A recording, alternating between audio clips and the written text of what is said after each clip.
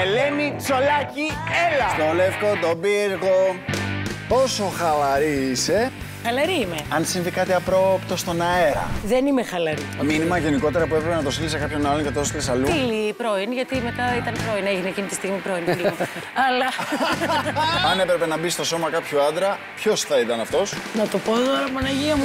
Night Out με τον Θεοχάρη Ιωαννίδη. Πέμπτη, 10 λεπτά μετά τα μεσάνυχτα.